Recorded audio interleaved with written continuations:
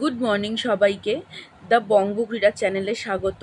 তো আজকে আমি একটা যে বইয়ের কথা বলব, সেটা তোমরা দেখতে পাচ্ছ অলরেডি সেটা হচ্ছে Mondal's sure success series Bangla ভাষায় static GK for all competitive exams এটা ওই কার্তিক চন্দ্র মণ্ডলের আর কি মণ্ডল প্রকাশনী এবং কার্তিক চন্দ্র মণ্ডলের কোন কোন এক্সামের জন্য তোমাদের এটা কার্যকরী হবে দেখে নাও। WBCS prelims mains railway NTPC আর আরপিএফ গ্রুপ ডি এছাড়া PSC clerkship miscellaneous food SI ICDS supervisor Anganwadi teacher help এছাড়া CTET WB TET primary test group C group D SSC CGL CHSL MTS CPO GD ঠিক আছে? এবং পুলিশের মধ্যে sub inspector constable lady constable ঠিক আছে? তো কী কী টপিক আছে তোমাদেরকে আমি এখানে দেখিয়ে দিই? প্রথমত বলে রাখি, বইটা মানে কি বলব ফার্স্ট টাইম এভার বোধহয় বাংলা ভাষায় একটা প্রথম বই। এটা হচ্ছে গিয়ে তোমার দু হাজার চব্বিশে এটা প্রথম প্রকাশিত হয়েছে। আর এটার প্রিন্টেড প্রাইস হচ্ছে চারশো টাকা। তো এখান থেকে তোমরা ডেফিনেটলি তোমরা ইয়ে পেয়ে যাবে, ছাড় পেয়ে যাবে। তো টপিকসগুলো দেখে নাও। প্রথমে স্টার্ট হচ্ছে সৌরজগৎ থেকে, ঠিক আছে? তারপরে আসছে ভারতের কেন্দ্রশাসিত অঞ্চলসমূহ। দেন আসছে ভারতের প্রতিবেশী দেশসমূহ, কেন্দ্রীয় মন্ত্রিসভা। তারপরে হচ্ছে ভারতের গুরুত্বপূর্ণ শৃঙ্গ, গিরিপথ, হিমবাহ, নদী, বন্যপ্রাণী, জনগণনা জনজাতি তারপরে হচ্ছে গিয়ে ভারতের পরিবহন জিআই ট্যাগ ভারতের প্রতিরক্ষা, প্রযুক্তিবিদ্যা তারপর শক্তি সম্পদ। ও, এই জায়গাটা মানে আমার একটুখানি খুচখুচানি সব মানে অভ্যাস আছে বলে আমি ছিঁড়ে ফেলেছি, যাই হোক। এছাড়া তোমার এখানে ধরো গুরুত্বপূর্ণ নদ নদী, ভারতের ব্যাংকিং ব্যবস্থা, ভারতের মহাকাশ গবেষণা, সরকারি প্রকল্পসমূহ, উল্লেখযোগ্য দিবস, পৃথিবীর বিভিন্ন দেশ, রাজধানী, মুদ্রা, ভারতের দীর্ঘতম, উচ্চতম, ক্ষুদ্রতম, তারপরে প্রথম বিখ্যাত পুরুষ, প্রথম বিখ্যাত মহিলা, বিভিন্ন দেশের গোয়েন্দা সংস্থা নদী তীরবর্তী শহরগুলো কলা এবং সংস্কৃতির মধ্যে হচ্ছে বিভিন্ন নৃত্য, লোকনৃত্য, ভাষা, শাস্ত্রীয় সংগীত, তারপর বাদ্যযন্ত্র, ভারতের উৎসব, ভারতের চিত্রকলা, চিত্রকর, চিত্র মার্শাল আর্টস ভারতীয় শাড়ি, ঐতিহ্যবাহী পোশাক, তারপর সাহিত্যের মধ্যে আত্মজীবনী, বাংলা সাহিত্যের কয়েকটি চরিত্র স্রষ্টা, বাংলা ভাষায় বিখ্যাত কয়েকটি উক্তির বক্তা, বিখ্যাত লেখক, কবিদের ছদ্মনাম, বিখ্যাত ব্যক্তিদের ছদ্মনাম, এই সমস্ত কিছু এখানে রয়েছে।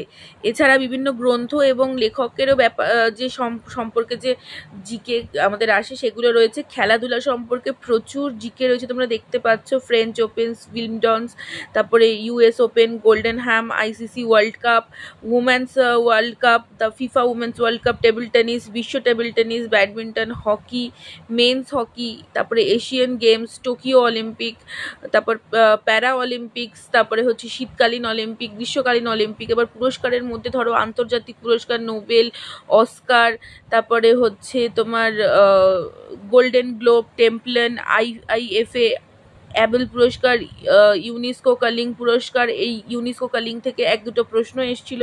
এবার ভারতের বিভিন্ন জাতীয় পুরস্কার, যেগুলো ভারতরত্ন, পদ্মভূষণ, পদ্ম, পদ্মবিভূষণ তারপরে পদ্মশ্রী, সাহসিকতার পুরো, সাহিত্য সাহিত্যের পুরস্কার এই সমস্ত জিনিসগুলো এখানে তোমাদের রয়েছে, টপিকসগুলো, এবং দেখো পুরো ইন ডিটেলসে জিনিসটা তোমাদের লেখা আছে এখানে, ঠিক আছে? আমি এখান থেকেই আর কি আমার জিকের যে প্রিপারেশন সেটা করছি। হয়তো বলতে পারো এই বইটাতে এসে আমার জিকের প্রিপারেশনের যে খোঁজ, সেটা শেষ হয়েছে। এখানে দেখে নাও, জনপ্রিয় মেলাগুলো কতটা ডিটেলসে দেওয়া রয়েছে। মানে বিভিন্ন স্টেট ওয়াইজ এটাকে ডিভিশন করেছে। যেরকম তোমার অন্ধ্রপ্রদেশ হয়ে গেল, অসম, তারপরে তোমার বিহার, ঝাড়খণ্ড, এরকম না, ওরা ডিভিশন করেছে, ছত্তিশগড়, গোয়া, অরুণাচল প্রদেশ, গুজরাট, এইভাবে।